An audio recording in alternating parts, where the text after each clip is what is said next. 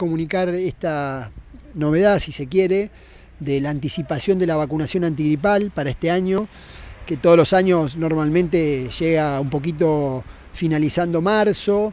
Este año por las gestiones realizadas y las proyecciones eh, de la anticipación de la circulación del virus de la gripe, eh, se logró contar con la vacuna antes en nuestro país. Eh, ya está disponible en nuestra región sanitaria ya se comenzó con la distribución, eh, esta semana se va a terminar en todos los eh, hospitales eh, rurales, ya están en los hospitales centrales puesta la vacuna para que sobre todo el personal de salud, como vos bien decías, comience como primer grupo de vanguardia, como siempre decimos, que está al frente de la atención de las personas con riesgo, que comienza la diseminación del virus por ahí entre las personas del ámbito hospitalario, que sean los primeros eh, dando el ejemplo también eh, de la prevención de la vacunación antigripal. Ya no es, eh, digamos, que hay que olvidarse la vacuna antigripal, como uno piensa, decir, bueno, estamos ante una pandemia, tenemos que concentrarnos en COVID, sino pensar en vacunación antigripal y el resto de las vacunas también.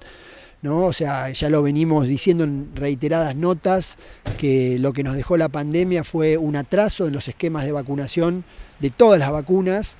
Eh, la vacuna de la gripe, bueno, eh, se da todos los años, sistemáticamente, independientemente de hayan sido o no vacunados eh, las personas años anteriores, para ciertos grupos, ¿no?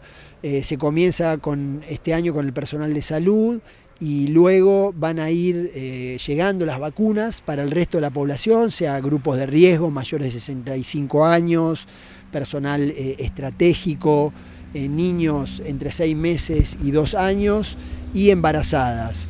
Todos esos grupos son los que contempla para este año la vacuna antigripal, pero como decíamos, se comenzará con el personal de salud y más adelante se irá informando para que el resto de la población se acerque, no en este momento, por eso queremos transmitir eh, esta información clara. Por ahora no se acerque el resto de la población, se irá eh, informando oportunamente. En toda la provincia se estiman 120.000 personas a vacunar. En nuestra región aproximadamente son unas veintitantos, 25.000 personas de nuestra población eh, de referencia que son 100.000 habitantes. Siempre calculamos un cuarto de, la población aproximadamente.